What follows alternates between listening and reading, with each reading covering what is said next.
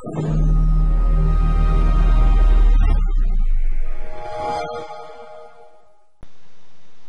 I'm Professor Yerby and today we're going to be taking a look at uh, Virtual PC 2007 from Microsoft.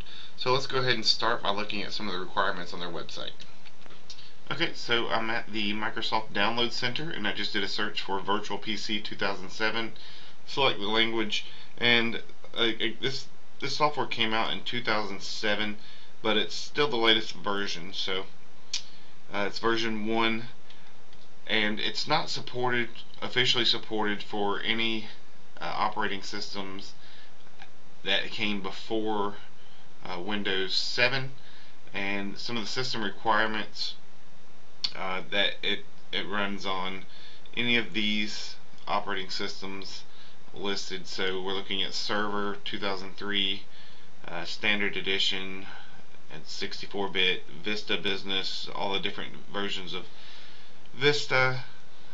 And then we're looking at uh, Windows XP Professional 64 and 32-bit and even the Windows XP Tablet Edition. So these are the official supported operating systems some Linux distributions may work in Virtual PC 2007 I wouldn't recommend it unless you're just trying to see hey what happens to work uh, what it is is Microsoft doesn't provide a lot of the drivers that you, you'll need uh, to to work within this virtual PC environment.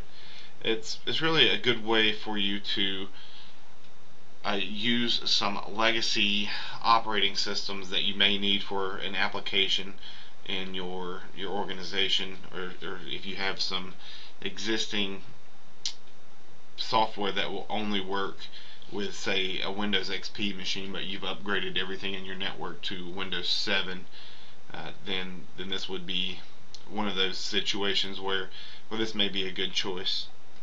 And so uh, all the other requirements are pretty similar to some of the other virtualization technologies that we've looked at.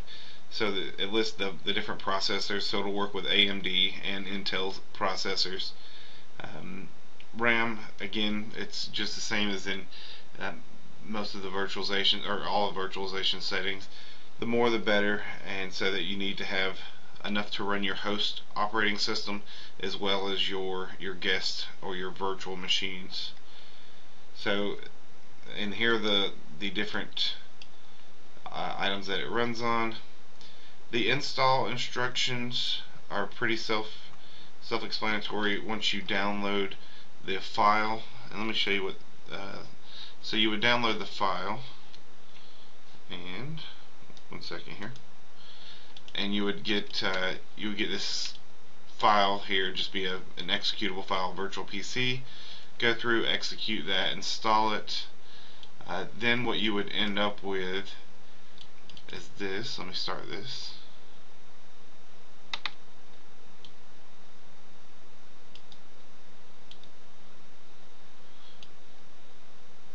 So you would see the new virtual machine wizard. Go ahead and click next. And you could give this a name.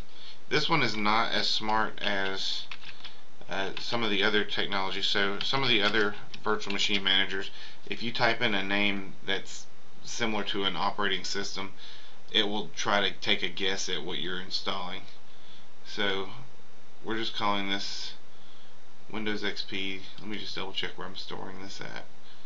So I'm storing this at this file location. If I wanted to store it somewhere else, I would select the other type. You can uh, store it as a VMC. Uh, if you want to use this in other virtual machine managers, uh, you'll have to do a conversion process. So it's it's not as friendly, I, I would say, as, as, some of the other virtual machine uh, hypervisors. So just go through next and this is where you can select the amount of memory, the disk size, and it looks like we can have a Sound Blaster or a, a audio card. Here are the different operating systems that are supported.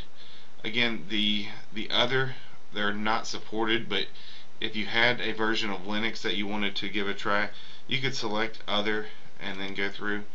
I'm going to go through and select Windows XP for this for this tutorial and it's recommending only 128 megabytes of RAM that's really low I'm working on an older desktop so I don't have a ton available.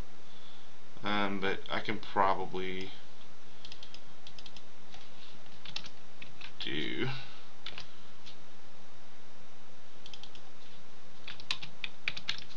do at least one gig right? And do is this an existing hard disk or a new one? And I'll say it's a new one and ask where you want to save this file so it's going to be a .vhd file. And this is the location. Do that click finish. And at this point we've done the majority of the creation of the virtual machine so we've set it up. Now we just need to go through, we need to point it to our install media, either a physical CD or a .iso uh, file. So let's open Virtual PC again. Okay, so this is the console that will come up. If I wanted to edit some of the settings in here before I start, I could just go to settings and we can see all the options that we configured plus some additional options. And so this is one we need to uh, look at. So here we are. Okay, and we could do some hardware virtualization and we could share some folders with our host OS or another virtual machine. Alright. You can always display in full screen. I, I tend not to do that because I want to be able to escape out of my virtual computer and know that know that I'm not in that computer anymore. So we can go ahead and do this. And let's see. We can click start.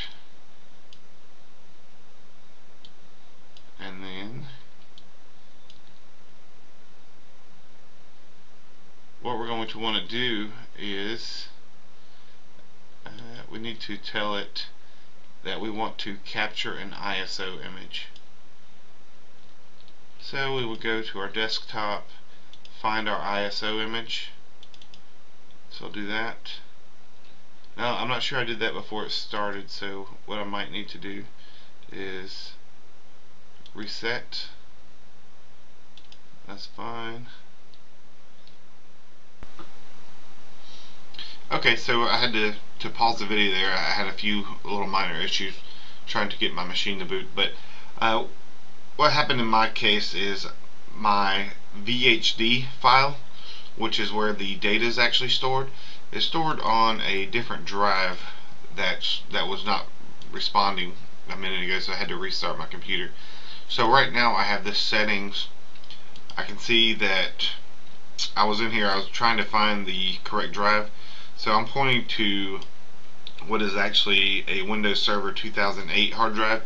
And so this is why it's really a good practice to to give your your virtual hard drives uh, meaningful names so I can see you know this is where it's at this is the name of the file but what I need to do if I start this right now is going to start an install of server that I've previously done so what I really want to do is go and browse to the correct file. So it's on my F drive in this case. This is an old older drive that I don't have as much stuff on this drive. Nothing that I, I really count on except for this this hard um, this virtual machine. I just haven't gotten around to to moving it around for some reason. But select that and it is this Windows XP hard disk so select this go ahead and click OK so now we selected the proper disk and we can go in there and we can look at the settings again. So so that one I've actually configured with 2 gigs of RAM. So when I run this one it it causes my host OS to to run a bit slow because I'm using pretty much half of my uh, total available RAM. but we can go here and click start. Cool and so now it's starting my my install of Windows XP uh, again I, I, have several of these hard disks that I've I've used at different times. So I have some dating back as far back as 2010 where I was uh, creating some of these and I think I have some older ones on another drive. Um, but that's it. So Following this video, I'll have some other information available, just general overview of Virtual PC 2007 from Microsoft. So, I uh, hope this has been uh, enjoyable or helpful for you, and I'll let this boot up real quick just to show you that it actually works. Again, I've only got 2 gigs of RAM on this machine, and my host machine only has 4 gigs total, so uh, everything is a little bit slower here.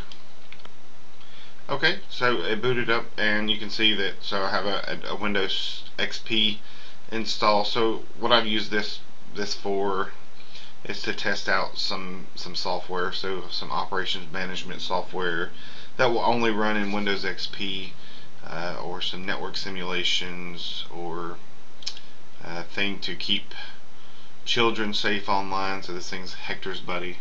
So I think I have that installed somewhere on here. It's just stuff that wouldn't run uh, in my host OS, but uh, it would run in Windows XP. So I wanted to test it or create some sort of training video or actually just use the software. Um, so once you're in the virtual machine, just like all the other virtual machines that we've looked at, uh, it works just like that. So that's all and hope you enjoyed the tutorial. Thanks and have a great day.